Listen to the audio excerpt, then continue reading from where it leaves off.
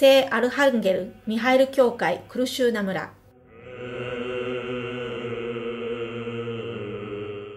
クルシューナ村の教会は小さい石造りの建物です。庭の緑の中でそびえ立ち、平安と謙虚さに満ちています。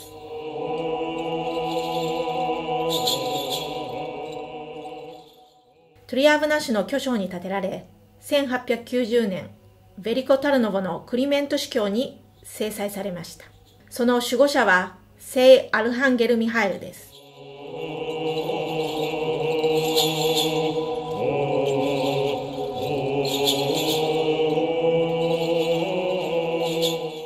教会は自分の歴史を見守っています。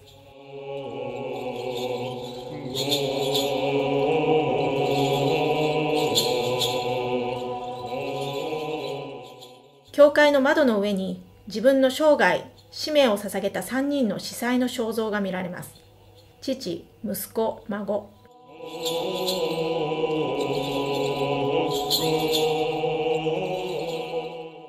地元の人が自分たちで教会の精霊も守っています。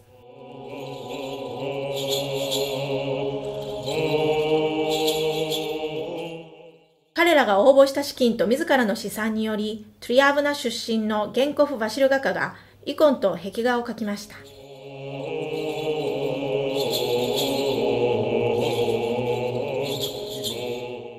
現在でも退職せず鮮やかな色調が維持されています。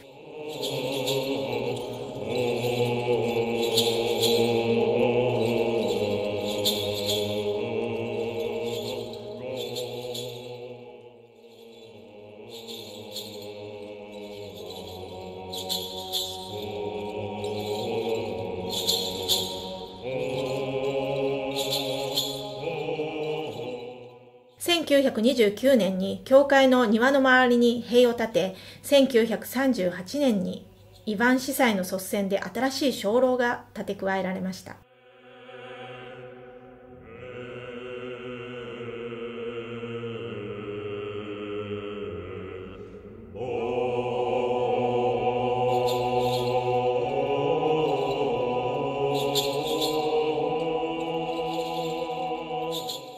前の鐘楼は教会の庭の中にあり、道に面した門の左側にあり、木製でピラミッドの形をしていました。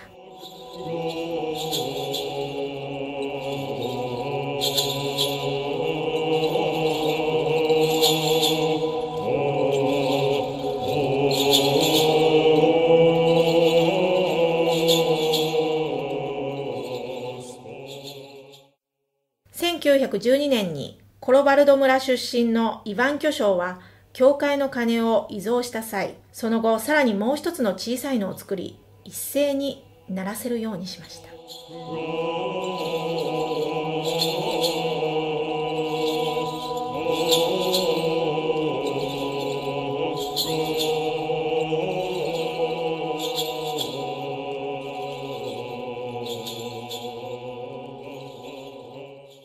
2年後、新学校の開校の際、教会の理事会の決議により、小さい金を新学校に寄付することになりました。それから、長い間、その2つの金はよく調和し、一つは精神的な行事を知らせ、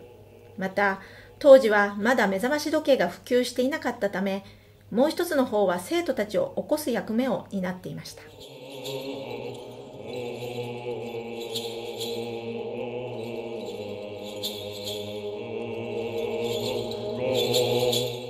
共産主義の時にも、教会に対する畏敬の念は弱化されたわけではなかったのです。反対に、1945年に新しく現れた農業協同組合は、